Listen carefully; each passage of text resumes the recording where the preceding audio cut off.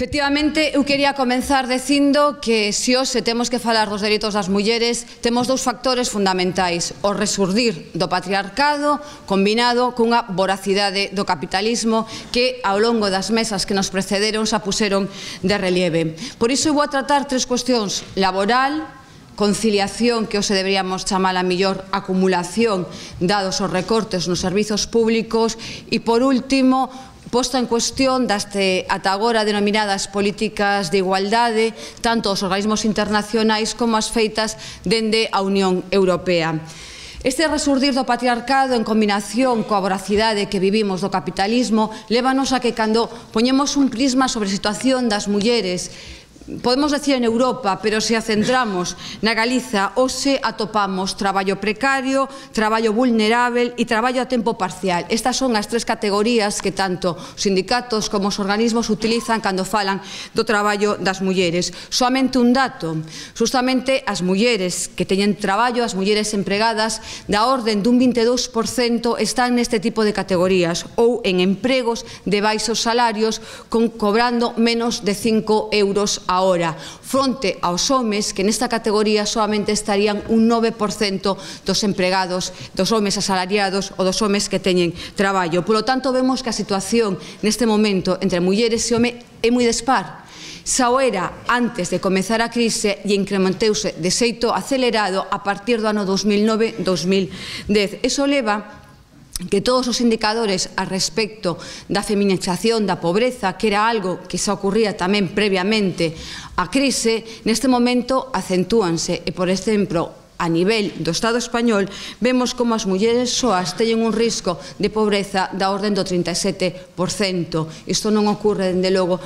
se o comparamos cos homes. Tamén, eh, por coller o grupo das mulleres e o seu risco de pobreza sin facer este separación das mulleres soas, podemos estar falando da orden dun 26% fronte ao consunto da sociedade que estaría nun 20%. Bueno, os números sempre sabedes que son mm, bueno, porcentaxes que intentan mostrar non as situación na que estamos, que, que estamos pasando as persoas individuais. Pero seguro que na orden das vosas vidas coñecedes a situación tan diversente na que poden estar os homes e mulleres diante desta perda de traballo. É certo que isto nos leva a unha perda de, de dereitos laborais clarísima por parte de toda a crasobleira, pero fundamentalmente das mulleres, das que están en estas categorías a que antes vos fixen eh, fincapé. A iso temos que sumarlle o que decía o segundo apartado, unha perda clara de servizos públicos debido, bueno, pois aos recortes. Eso Casa mal que aínda se siga mantendo a linguaxe da conciliación por parte de organismos públicos ou por parte de calquera dos informes que podemos ter da Unión Europea, porque o que están vivindo as mulleres é unha volta a acumulación de tarefas en xeral e, sobre todo, as mulleres con menos recursos. E esa... Eh, perda de servizos públicos, esa perda de calquera dereito de conciliación, sitúanos ademais nun Mm, digamos, outro plano que o discurso natalista froito das crises demográfica e da crise demográfica que vivimos en Galiza e a que antes, ademais, fixose referencia. Isto fai caer sobre, mm, digamos, as espaldas outra vez das mulleres discursos sobre a necesidade de volta ao fogar, a necesidade de un emprego por unidade de convivencia ou por unidade familiar, isto fai ademais que coincida con un momento no cal o debate sobre plans de demografía coincide con un debate sobre a modificación da lei do aborto. A verdade é que é unha mágoa que non teñamos máis tempo para analizar isto devagar. Efectivamente, é moi fácil caer no discurso natalista da promoción non ou Bueno, podemos ver o, o goberno Feijó como puso unhas vallas maravillosas por toda Galiza que, eh, que bonito e que naza Xoán, Antía, Mariña, pero eh, non engadía eh, os custes que teñen es, económicos, emocionais en tempos esa nacemento dos nenos e das nenas. No goberno galego temos, bueno, pois a, un goberno que apoia Red Madre, un plan de demografía absolutamente sesgado e que deixa de lado pois, os dereitos laborais e os dereitos de conciliación das mulleres e en este momento, como os decía, unha, un resurdir desa ideoloxía patriarcal a través da modificación da lei do aborto que leva por título eh, Lei para os dereitos do concebido e da muller embarazada. Certo que este concepto de muller embarazada que anula o dereito das mulleres e se centra solamente no dereito da muller embarazada que se Mm, ledes o texto, non ten nada que ver pois con dereitos laborais das mulleres embarazadas, non ten nada que ver con dereitos de conciliación das mulleres que despois están embarazadas teñen fillos, non ten nada que ver con dereitos tampouco de paternidade, non ten nada que ver efectivamente co que significa o feito de poder traballar e de poder conciliar, simplemente crear esta nova, este novo concepto, esta nova categoría de muller embarazada para sobre el construir tamén ese concepto de concebido. E isto mm, xa que me quedan cinco minutos, nos ten que levar a unha reflexión sobre as políticas de igualdade promovidas fundamentalmente dende a Unión Europea e que tiveron os diferentes reflectos, bueno, pois tanto nos gobernos de Estado, en Galiza e que enchoupan neste momento cando falamos de políticas de igualdade. Solamente por pensar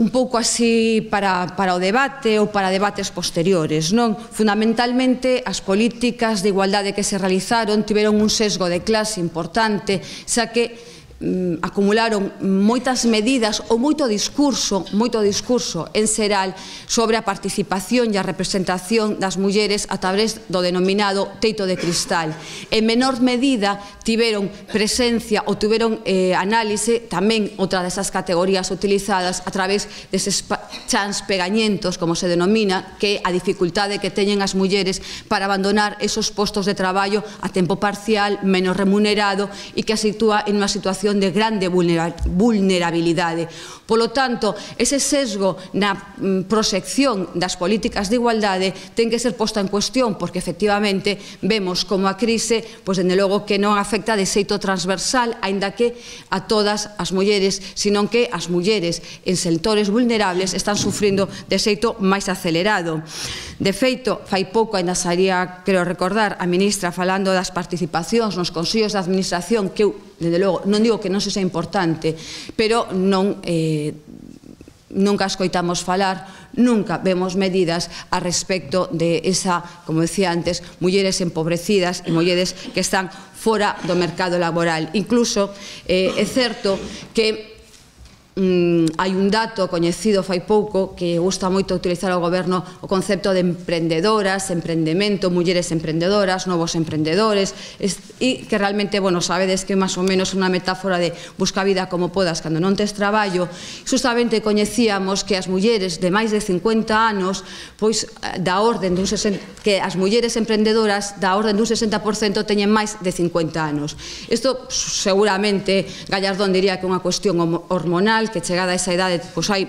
certas ideas que fluen de forma diferente, non? Pero ten máis que ver coa imposibilidade de atobar un posto de traballo remunerado cando as mulleres pois perden o seu posto aos 50 anos ou cando logo de acabar o período de crianza dos seus fillos e fillas intentan volver ao mercado laboral. Xa poden buscarse a vida como como poidan e convertirse en mulleres novas emprendedoras ou emprendedoras non tan novas mulleres. Por lo tanto, esa é a situación na que estamos, na que nos ten ten que reflexionar sobre como se invisibilizaron os traballos de coidado e eh, volvendo mm, a esa crítica ás políticas de igualdade a nivel xeral, eu quisera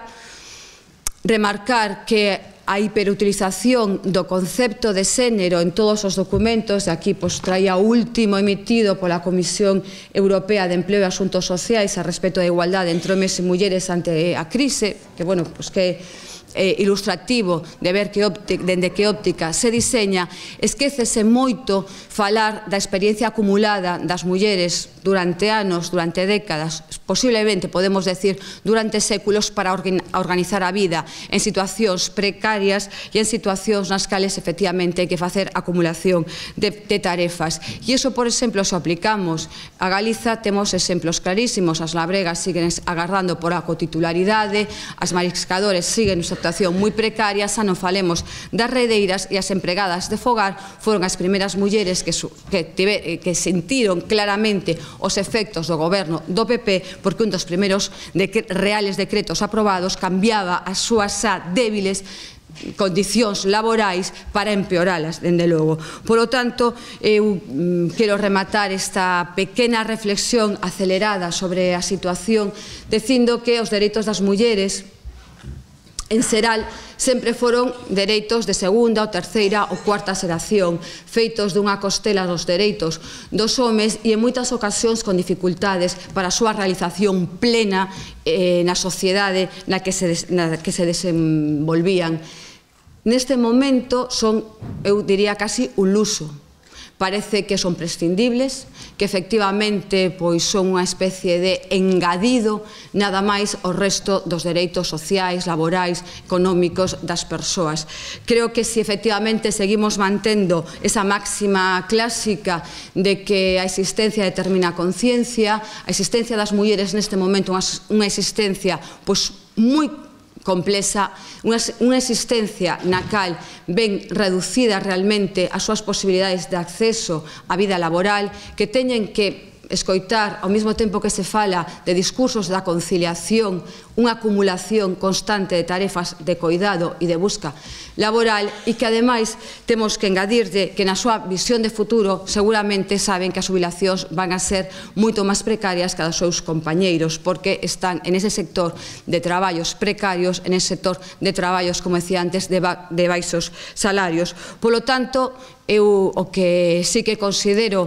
dende logo que como, como muller, é que estamos resu vendo resurdir o patriarcado con forza, o vemos resurdir ademais co aplauso de moitos dos medios de comunicación, cos, con moito ademais de todos esos esas factorías de creación de ilusións, de soños e de e de lecer para a xuventude e que inmediatamente pois eso ten a súa contrapartida en estos dereitos, como vos decía, que tradicionalmente foron considerados de segunda ou de terceiras. Polo tanto, se queremos saber como está unha sociedade, tal como fixo Castelao ou Rosalía, temos que mirar como son as condicións condicións de vida das súas mulleres. Se hoxe nos detemos un chisco a ver as condicións de vida das mulleres das mulleres galegas, non solamente a través de gráficas e de, e de números, senón que se o facemos entrando nas salas de espera dos hospitais, se o facemos nas colas de espera para conseguir unha escola infantil ou as posibilidades que teñen para,